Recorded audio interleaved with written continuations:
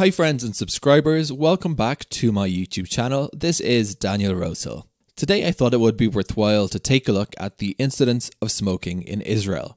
A report came out today showing that Israelis are consuming more alcohol, smoking more, working out less, and using more prescription sleeping aids, all as a result of increased levels of stress since the October 7th massacre and the ensuing war with Gaza. But what are rates of tobacco use like in Israel generally speaking? And how do Israeli laws designed to prevent secondhand smoking look like compared to the rest of the world? According to data from 2014, 19.8% of Israelis aged 21 and over are smokers. 27.3% of Israeli men smoke and 12.6% of women.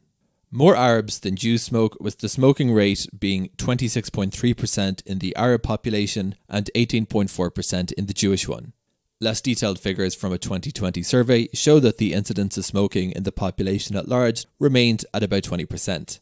This level remains above the OECD average. Unfortunately, the use of electronic cigarettes and flavoured tobacco has led to a spike in the incidence of smoking in Israel. In total, 8,000 Israelis die from tobacco related illnesses every year. The Israeli Cancer Association, or ICA, is one of the main advocates for tighter access control to tobacco products in Israel. Its health promotion specialist Dana Frost told the Times of Israel that underage users were managing to access tobacco products despite it being illegal, and that the bright colouring and flavour of smokeless tobacco products were particularly attractive for this demographic. The association said that much better enforcement is required. Another area in which Israeli tobacco controls falter behind international standards are in regard to secondhand smoke exposure. Despite it being illegal, where I live in Jerusalem, there are quite a number of bars in which bartenders and patrons can routinely be seen lighting up in shared indoor spaces. Israeli secondhand smoke legislation permits the operation of indoor smoking rooms despite the fact that these designated smoking locations are rarely, if ever, hermetically sealed from other spaces. And here's one more shocking statistic. Israel is a densely populated country and most Israelis live in apartments rather than detached dwellings. According to a 2023 study, every second household in Israel suffers from secondhand smoke exposure due to their neighbours' smoking habits, and I'm included in that figure. The research also showed, however, that only a quarter of those affected households complained about unwanted exposure to their smoking neighbours or housing committees.